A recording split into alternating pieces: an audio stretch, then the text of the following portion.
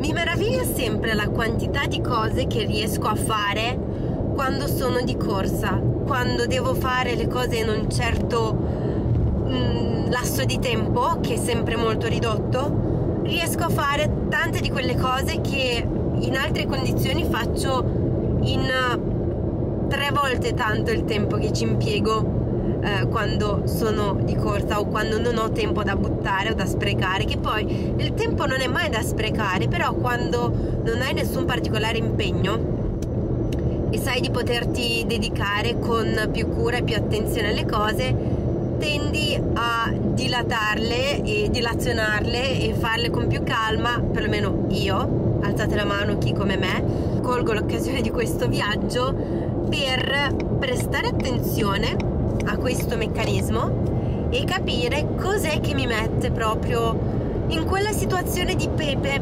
Ad esempio stamattina avevo tutto il tempo del mondo per fare le cose con calma, ma non l'ho fatto. Ho preferito perdermi via in altre cose, che sono l'altro lato di quello che vorrei allenare e analizzare e capire in questo viaggio eh, che è il fatto di non concedersi momenti di svago, momenti di pausa, momenti di bellezza o semplicemente momenti pieni delle cose che più amo fare perché sono impegnata in altro, tipo lavorare. Perché uh, mi sono resa conto che non riesco a trovare un equilibrio quando devo lavorare tendo a lavorare basta. E a non concedermi neanche un momento di um, cose che solitamente amo fare. E questo mi porta in un brutto posto, nel senso che mi porta in quello stato in cui arrivo a pensare di odiare il mio lavoro solo perché non mi concedo di uh, fare le stesse cose che farei in condizioni normali in cui magari non lavoro e quando uh, mi posso permettere di fare le cose che amo con calma. Quello che vorrei sperimentare e fare di più in questo viaggio è di um, cercare di fare quanto più possibile le solite cose che um, compongono la mia routine, le cose che amo fare, anche mentre lavoro. Voglio allenarmi, voglio meditare, voglio mangiare le cose che mi piace mangiare, uh, ricordarmi di chiamare una volta in più o mandare un messaggino in più alle persone a cui tengo e godermi anche i posti in cui vado. Tutto questo non è facile, non è assolutamente facile, nel senso che non è una cosa che ti viene naturale soprattutto in questo tipo di lavoro perché ci sono poi i momenti liberi, quindi quando stacchi dal lavoro prima del lavoro in cui vuoi anche stare da sola con te stessa senza sentire necessariamente qualcuno, senza fare necessariamente qualcosa. Per cui fare tutte le cose che faccio di solito diventa un impegno perché in realtà questa credenza che le cose che ci piace fare debbano essere facili da fare per alcuni aspetti e per alcuni tratti è sbagliata perché spesso dobbiamo correre un po' di più nel fare le cose che dobbiamo fare per ritagliarci il tempo per le cose che ci piace fare. Spesso dobbiamo rinunciare delle cose per fare delle altre cose, quindi si tratta di um, lavorare sull'equilibrio, lavorare su questa bilancia che pesa sempre molto di più verso il lavoro piuttosto che verso um, le cose che mi piace fare. Comunque, uh, sono diretta verso Verona, che sarà la mia prima tappa di questa settimana. E ci starò per uh, due giorni. Conto anche questo viaggio nella mia permanenza a Verona. E um, non so bene ancora quanto e cosa riusciremo a fare però vorrei fare tante cose quante più riesco nel lasso di tempo libero che ho a disposizione che è molto molto risicato però cercherò di impiegarlo uh, nel modo più efficiente possibile. Voi tra l'altro siete una di quelle attività che spesso taglio fuori quando sono in viaggio per lavoro perché non mi voglio sbattere troppo adesso che analizzo bene le cose perché mh, non è facile filmare mentre uh, mi trasferisco da una parte all'altra motivo per cui adesso lo sto facendo dalla macchina. Però non è impossibile è un po' più difficile rispetto al solito rispetto alle condizioni normali ma non è impossibile questo video sarà il video delle inquadrature strane. In questo momento sono atterrata a Verona. Dico atterrata perché questa macchina che sto guidando mi sembra un bolide. È una Renault Capture, eh, è una macchina a noleggio e um, sarà la mia macchina per i prossimi due giorni. In questo momento sono nel parcheggio del giga centro commerciale all'uscita dell'autostrada Verona Sud. Per questo motivo non so bene come si chiama questo posto. Um, devo andare a recuperare il pranzo e poi si va a lavorare. Ho un appuntamento alle 2 e mi verrebbe da dire devo correre, ma in realtà di tempo ce n'è. Ho ancora 40 minuti per mangiare e poi andare in questo posto che è letteralmente due minuti da qui. Sono le 21.34 e ho appena preso possesso della stanza. Guardate qua che bella stampa. Sono in un hotel della catena che mi ricorda la mia vacanza più disastrosa di sempre. L'hotel in causa è B&B Hotels, è una catena che c'è un po' ovunque e anche a Pisa dove sono stata quando ho fatto la vacanza tra Viareggio e quelle zone lì. Chi se lo ricorda il video mm, lasciatemi qua un qualsiasi commento perché io quella vacanza ce l'ho ancora qua. Il ricordo è bello vivido. Um, ma lasciamo perdere quello che è stato vediamo quello che è, perché questo è un hotel diverso, la città è un'altra e a primo impatto non è lusso ovviamente perché è un hotel economico, però ci sono delle cose anche positive. Partiamo dall'ingresso. Uh, dall'ingresso c'è subito il bagno. Mm, facciamo il check delle pulizie bene ma non benissimo qualche piccola sbavatura c'è per il resto è comunque elegantino un po' vintage in questo punto qui poi la prima cosa che non mi convince è questa porta qui che sembra la porta di una stanza comunicante, motivo per cui ho appoggiato la valigia contro la porta. Ma adesso andrò in reception e chiederò confermarmi che questa porta è bloccata, perché se no non dormo tranquilla. Poi abbiamo la stanza, piccolo puff, uno specchio, letto molto economico una scrivania e una mini cabina armadio, la tv e una bella vista sull'autostrada. Uh, il casello, yay! Comunque, mm, di positivo sembra ben insonorizzato, non sento particolarmente il rumore della strada. Um, all'arrivo, iscrivendomi al loro programma Fedeltà, ho potuto avere una colazione gratis e anche una bottiglietta d'acqua gratis. Le ho prese volentieri. Uh, di altro positivo?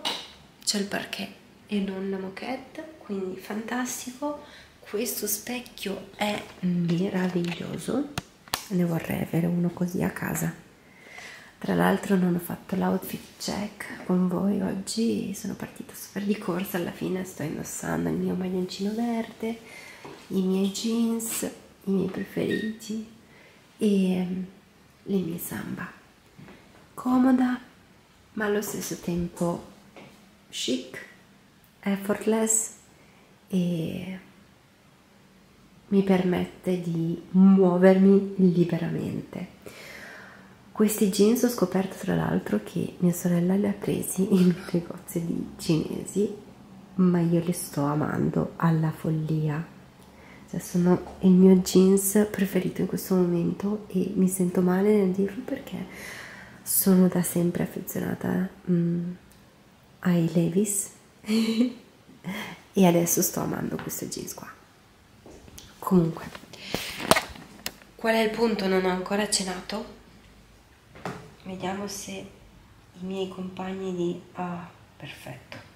Ok si va a cena e purtroppo non sarò da sola. Purtroppo perché non posso parlare con voi per fortuna per me perché sarò in compagnia quindi magari scatto qualche foto della cena e mm, ve la metto qui. Andiamo da Spiller che è una birreria però ho ispezionato il menu ci sono un sacco di opzioni gluten free e anche veg per cui perfetto. A dopo. Eccomi di ritorno dalla cena trovare la stanza della mia collega è stata una vera impresa. Ok. Tornare alla mia stanza è stato impegnativo. Le luci non si sono accese sul corridoio, mi sembrava di stare dentro un horror movie, ma adesso sono in camera, sto aprendo la valigia e mi sto preparando una tisanina. Eh, sì, si schiaccia magari anche il tastino. Comunque, continuo a non essere serena su quella porta lì. dovrò fare un lavoro importantissimo sulla mia psiche per riuscire a dormire. Ci aggiorniamo domattina. Buonanotte. Ah sì, la cena, dimenticavo, ho mangiato delle patate fritte con sopra le uova all'occhio di bue e delle verdure al vapore le verdure non erano proprio il massimo, ma le patate con l'uovo erano ottime. E per il resto eh, la prima giornata finisce così. Quindi a domani!